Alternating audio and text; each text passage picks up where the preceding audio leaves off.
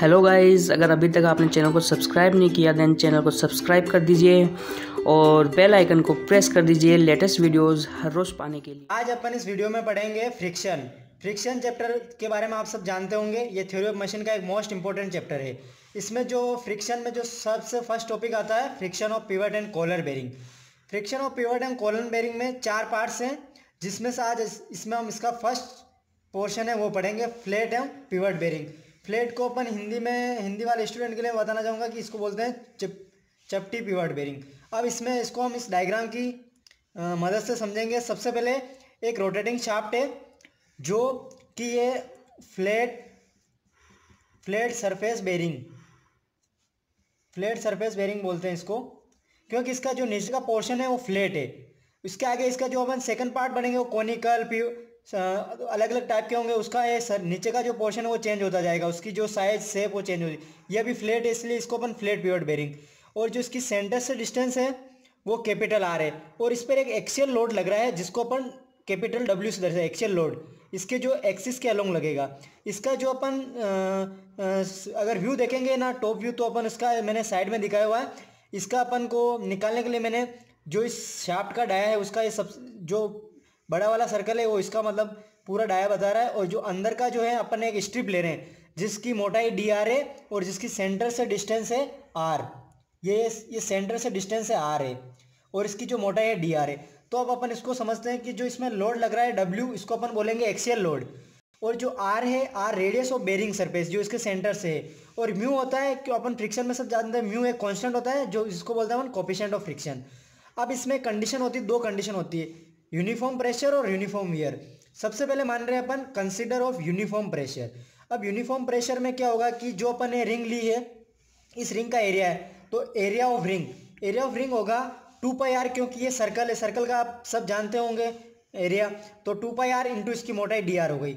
अब axial load on ring जो इस रिंग पे जो लोड लग रहा है डब्ल्यू उस डब्ल्यू के लिए फॉर्मूला आता है del W is equal to P into A तो पी इंटू ए अपन अभी एरिया निकाल दिया एरिया को एस में रखेंगे तो ये हो जाएगा two pi r into d r into p अब इसमें से इसका अपन इंट्रीगेशन करेंगे ज़ीरो से आर के रेस्पेक्ट में. तो ये क्या हो जाएगा, जो कॉन्स्टेंट है वो तो बाहर आ जाएँगे. टू पाई और पी कॉन्स्टेंट बाहर आ गया ज़ीरो से आर इसका अपन इंट्रीगेशन किया. तो आप इस सब जानते होंगे इंट्रीगेशन का, जो सिंपल फॉर्मूला है एक्स की पावर एन एक्स की power N is equal to होता है एक्स की power N plus one upon N plus one तो यहाँ पे अपने पावर क्या है? वन है। तो ये हो गया आर की power two by two two से टू कैंसिल होने के बाद डब्ल्यू इज़ इक्वल टू बच गया two pi P upon R तो यहाँ से पी हो जाएगा P is equal to W upon pi R square हाँ गाइज़ तो हमने P is equal to W upon pi R square तक निकाल लिया। तो इसके आगे अपन जानते हैं कि friction force is equal to होता है F R is equal to mu into del W तो म्यू तो कॉन्स्टेंट है डेल डब्ल्यू अपन ने जो फॉर्मूले से निकाला था two pi R two pi P R into D R into mu इसे मल्टीप्लाई किया। अब अपन फ्रिक्शन टोर का फॉर्मूला होता है T R is equal to F R into R जो अपना एफ़ आर अभी अपन ने निकाला, ये इसी में रखेंगे तो ये हो जाएगा आर से आर मल्टीप्लाई हो गया तो two pi P R square into D R into mu. अब अपन को टोटल टोर्क निकालना है तो अपन इसका इंट्रीगेशन कर देंगे।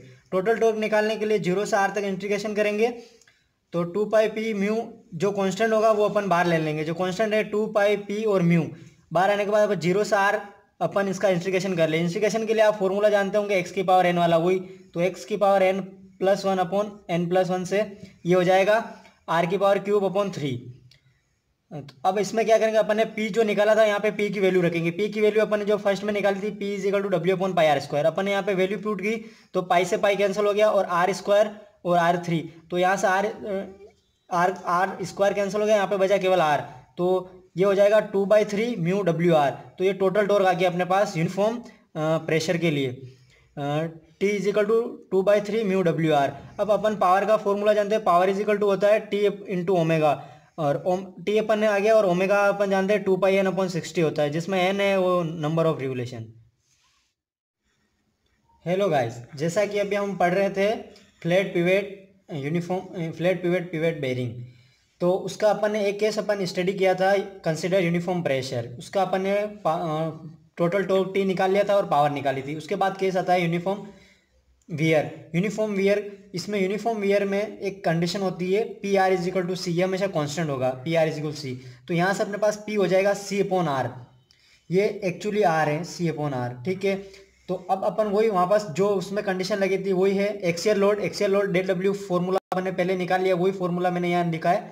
P is equal to two Y R N two D R तो पी अपना अभी यहाँ से यह है सी अपॉन आर यहाँ अपन ने वैल्यू डाली सी तो क्या हुआ कि आर से आर कैंसिल हो जाएगा। ये आर और ये आर कैंसिल हो गया। तो अपने पास बचा two pi C into D R अब अपन को टोटल लोड निकालने के लिए इसका इंटीग्रेशन करेंगे ज़ीरो से आर टोटल लोड निकालने के लिए डब्ल्यू हो जाएगा। W is equal to zero से आर इसका इंटीग्रेशन करेंगे two pi C into D R तो टू पाई सी कॉन्स्टेंट है, बारह जाएगा और डी आर का इंटीग्रेशन क्या होगा? केवल आर हो जाएगा। तो अपने पास जो वैल्यू आएगी W is equal to two pi C R तो यहाँ से अपन सी निकालेंगे C is equal to W upon ये इसके नीचे आ जाएगा तो W upon two pi R हो जाएगा।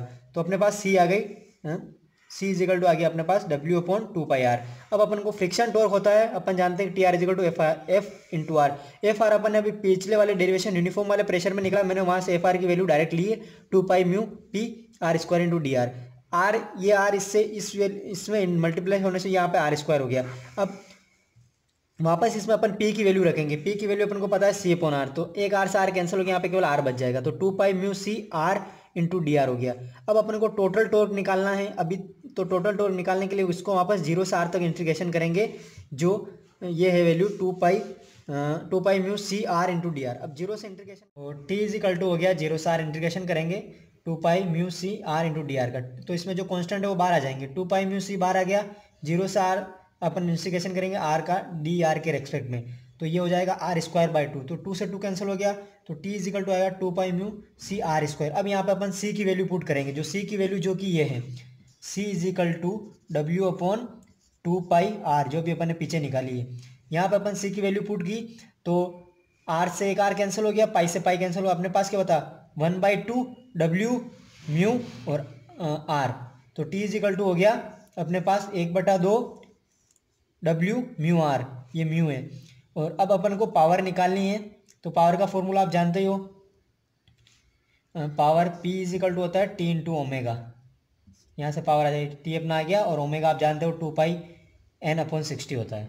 ये अपना जो डेरिवेशन था फ्लेट पिवट बेरिंग का पूरा कंप्लीट हो गया है। इसमें अपन ने यूनिफॉर्म प्रेशर और यूनिफॉर्म वियर दोनों की अलग अलग पावर निकाल टोर्क निकाल लिया है और दोनों की अलग अलग पावर निकाली है। ये अगर आपका डेरिवेशन एग्ज़ाम में आता हो तो ये पूरा आपका कंप्लीट है।